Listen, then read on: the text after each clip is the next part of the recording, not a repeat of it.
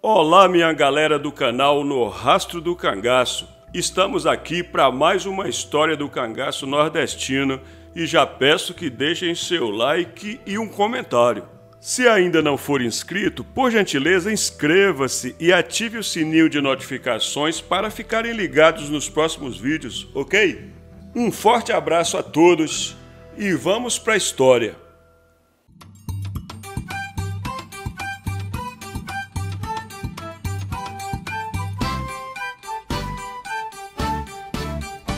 Desde junho de 1921, Virgulino Ferreira da Silva, Lampião, o futuro rei do cangaço, já fazia parte do bando do afamado cangaceiro Senhor Pereira. Senhor Pereira já havia tido uma conversa com Virgulino, na qual lhe disse que estava deixando o cangaço e que ele, Lampião, seria seu substituto no comando do bando.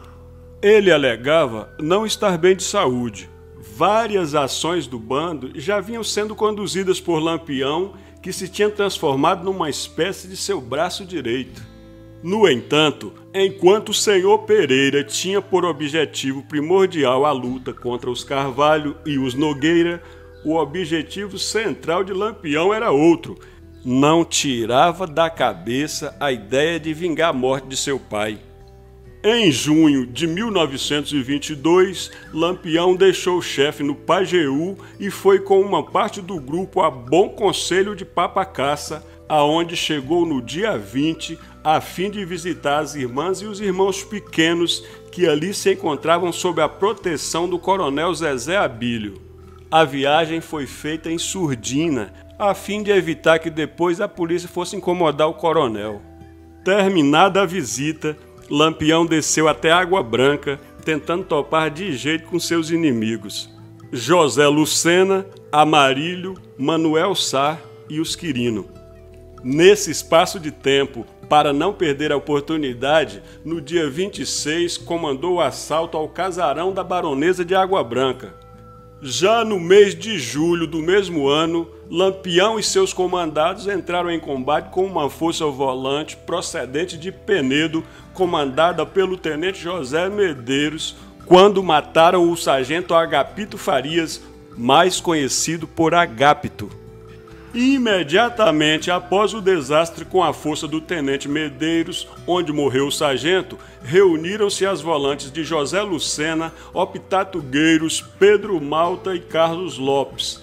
Ao todo, mais de 200 homens e puseram-se no encalço dos cangaceiros.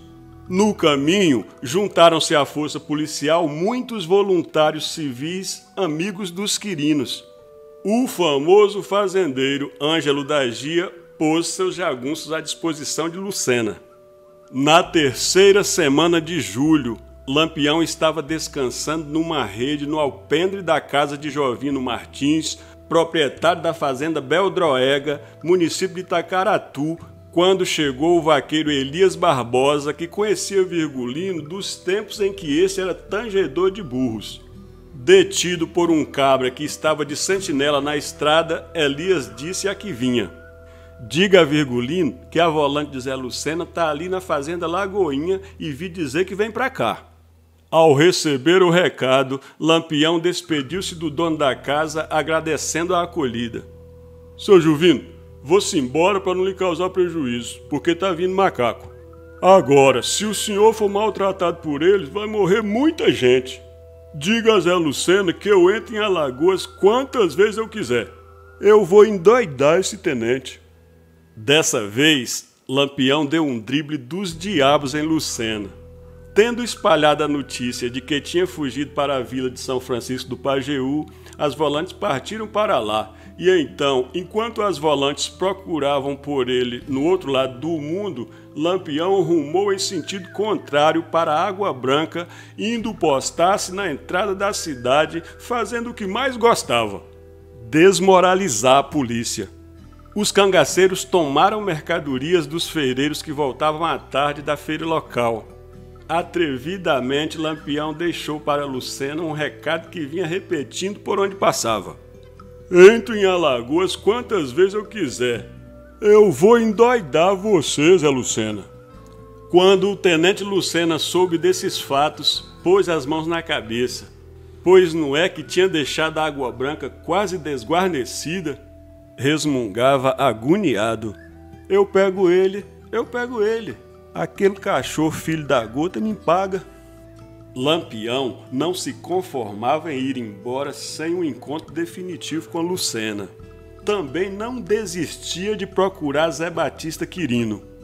Nesse sentido, atravessou o Mochotó, indo descansar perto da fazenda Praquió. Zé Lucena tinha recebido mais reforços, contando agora com uns 300 homens, mas apesar disso, num gesto ousado e insolente, foi Lampião quem tomou a iniciativa, coisa que o tenente menos esperava. O ataque era apenas provocação, ação típica de guerrilha para abater a moral do tenente, pois a diferença numérica era enorme. Quando Lucena pôs ordem na tropa, os cangaceiros já tinham debandado em pequenos grupos, cada um numa direção, apagando os rastros com ramos de mato. Em certos lugares, os rastros estavam em sentido contrário, cruzavam-se, sumiam, reapareciam. O bando continuou atuando por vários dias nos povoados e fazendas da divisa de Alagoas e Pernambuco. O objetivo era desmoralizar Lucena.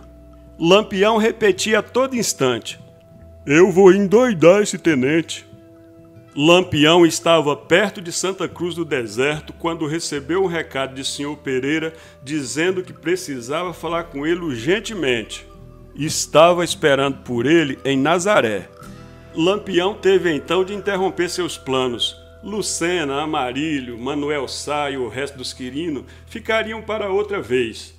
Dizia ele, alisando a coronha do rifle. Se eu morrer sem dar fim nessas pestes, já sei que vou pro inferno.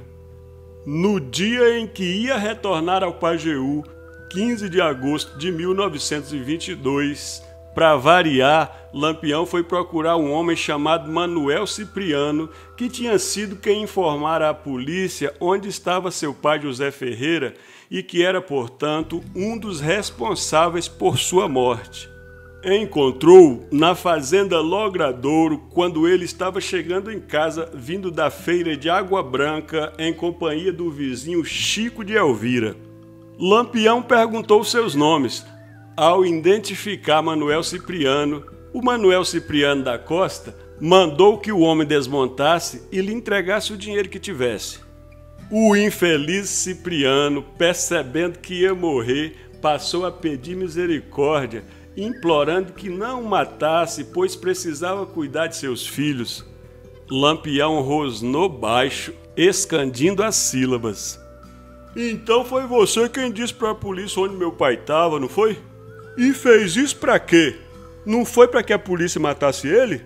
Ah, pois agora você me paga, seu filho da peste. Ditada a sentença, recuou um pouco e deu três tiros no homem. Antônio e Livino também atiraram. Liquidado Cipriano, Lampião voltou-se para Chico de Elvira. Sentiu-se então um mau cheiro horrível, e não era cheiro de pólvora e nem de sangue.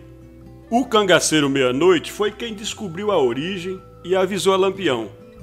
Nego véi, o cabra tá todo cagado. Lampião, sisudo, disse a Chico de Elvira. Vá-se embora, desgraçado. Vá logo.